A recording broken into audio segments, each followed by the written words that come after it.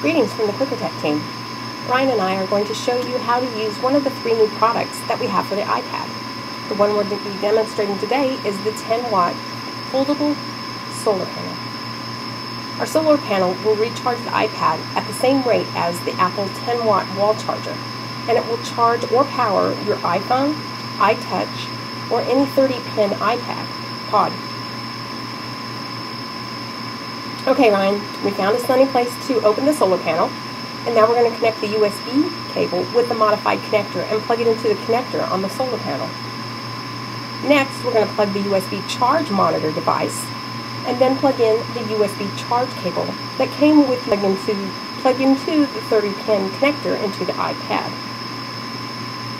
We are using the charge monitor, the USB charge monitor activator, so you can actually see the charging current level.